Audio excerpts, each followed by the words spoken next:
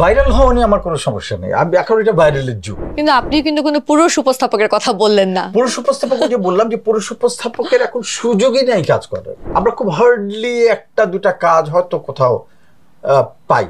আমিও তাই। হার্ডলি হয়তো একটা দুটা চ্যানেল হতো কখনো যদি ডাকে তাহলে হয়তো পাই। আমি বলব সালমান মুক্তাদির তারপরে রাফসান আফ্রিদি ওরা ভেরি স্মার্ট ওরা জানে এক্স্যাক্টলি কীভাবে প্রোগ্রামটা প্রেজেন্ট করতে হবে, কোথায় কি কথা বলতে হবে, কীভাবে বলতে হবে।